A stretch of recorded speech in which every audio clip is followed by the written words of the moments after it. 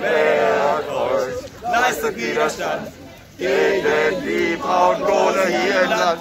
Auf die Barrikaden, auf die Barrikaden. Im Klimaschutz, runter mit der Kohle. Hoch mit dem Klimaschutz, runter mit der Kohle. Hoch mit dem Klimaschutz, runter mit der Kohle. Hoch mit dem Klimaschutz.